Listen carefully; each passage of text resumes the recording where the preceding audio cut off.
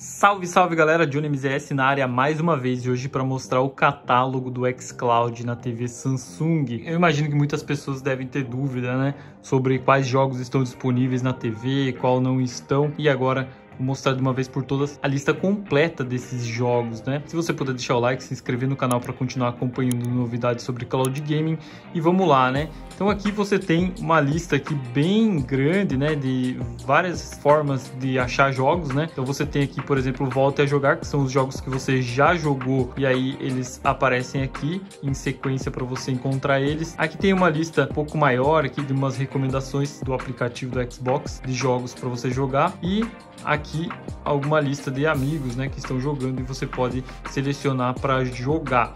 Mas como às vezes, muitas vezes são jogos de Xbox, né? Às vezes seus amigos estão jogando no Xbox, aí você não consegue clicar aqui, por exemplo, e iniciar o jogo Roblox, né? Tem um amigo aqui jogando. Mas aparece a opção jogar na nuvem, mas ela está desabilitada. Ó. Você vê que ela está um pouco mais apagada aqui apesar de parecer que não, mas ela está um pouco mais apagada. E aí não é possível, eu até clico aqui, mas não é possível jogar ainda jogos que não estão no catálogo do Game Pass. Isso deve acontecer, né, como o vídeo que eu já trouxe aqui anteriormente, essa semana passada, deve acontecer em julho, em junho ou em julho após o evento da Microsoft. Aqui também tem um, um campo aqui de informações, né, jogos mais populares na nuvem. Isso aqui também é bem interessante, mostrando aqui os jogos é, realmente que são mais populares dentro do xCloud, como Fortnite, FIFA, FIFA 23, né? Forza Horizon 5, Mortal Kombat 11, é, Rainbow Six, Far Cry 6, Palworld, Forza Motorsport, Gold Simulator, e Battlefield 2042 e aqui você pode mostrar tudo, né?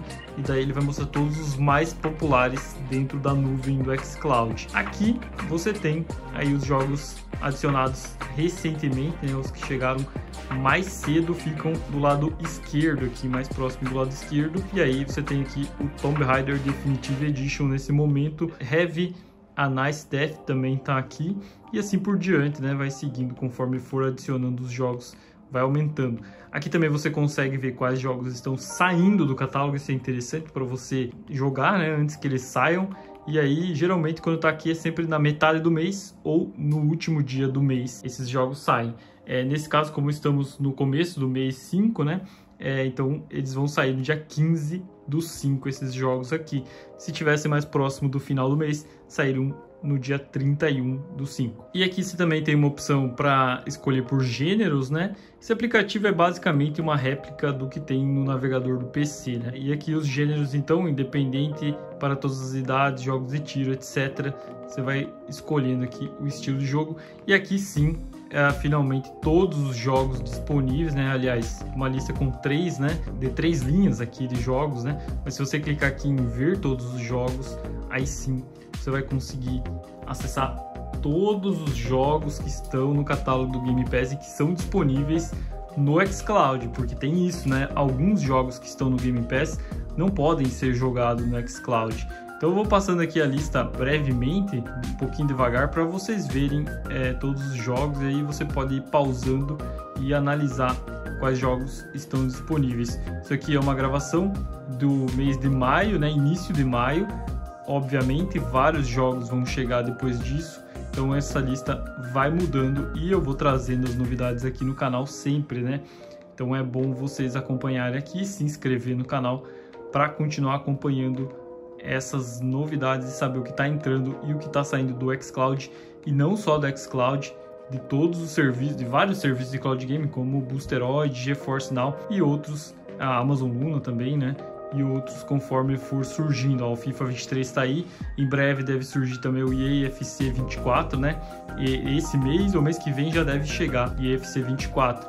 Em junho tem o evento da Microsoft. No, no, nessa época de evento, a Microsoft traz muitos jogos para o catálogo, jogos indie e jogos desenvolvidos por ela mesma e também jogos de parceiros, né? Então isso aqui, essa biblioteca vai aumentar na metade do ano com certeza. E aí também além do evento, né, é, além disso, no evento eles anunciam os jogos que vão entrar durante todo o ano até dezembro praticamente. Você vai saber aí todos os jogos que devem entrar no catálogo e com certeza devem ter grandes anúncios. eu vou trazer, né, aqui no canal a cobertura completa do evento. Vocês vão ver ao vivo aqui, então acompanhe, fique ligado aqui no canal. E não terminou aqui ainda a lista de jogos, né? Just Cause Reload, Limbo tá aqui ainda, que eu me lembro ele tinha saído, mas voltou, né? Se eu não me engano, Lies of P tá aqui. Uh, vou sempre falando um da lista aqui, né? Little Gator Simulator, The Show 24 MLB, né? Mass Effect Andromeda, Flight Simulator, esse que é interessante. Monster Hunter Rise. Cara, tem muito jogo mesmo para você descobrir, né? Need for Speed Hit, para você descobrir, jogar e ver se é do seu agrado ou jogos que às vezes você já conhece e já gosta de jogar. E às vezes nem sabe que estava aqui, né? Quake está aqui também, Resident Evil 3 está disponível. E Remante 2, Shadow of the Tomb Raider Definitive Edition, adições recentes, inclusive Starfield, né? Jogos da Microsoft sempre estão disponíveis. Cara, é infinito isso aqui, né? Não acaba, lógico que, é, que acaba, né? Mas é, modo de dizer, cara, muito jogo, realmente. Espero chegar no final dessa lista aqui antes de acabar o vídeo. Wolfenstein New Order, Breakfast, Yakuza. E aí chegamos, né? The Hunter, Call of the Wild, the Wild está aqui também. Então essa é a lista completa de jogos do Game Pass. Espero que vocês tenham conseguido ver tudo. Isso é o que está disponível na TV, né? Obviamente, tudo que eu, eu não sei se tem diferença, mas eu acredito que não, tá? Então tudo que está aqui deve estar tá disponível também para você jogar no navegador. É, se eu não me engano, não tem essa, essa diferença. O que muda realmente é o que está disponível no console pelo Game Pass e na nuvem, né? Às vezes na nuvem não tem alguns jogos que estão disponíveis lá no console. Aos poucos eles vão adicionando. Então eu acredito que deu para tirar essa dúvida aí do pessoal. Então fazendo um vídeo para quem já conhece o xCloud não vai mudar muito essa informação, mas para quem está chegando agora, principalmente é, e quer saber aqui na TV Samsung, né, como é que tá, qual é o catálogo, é, esses são os jogos e tem vários vídeos aqui no canal mostrando testes na TV Samsung. Se puder deixar o like, se inscrever, tamo junto, valeu e até a próxima.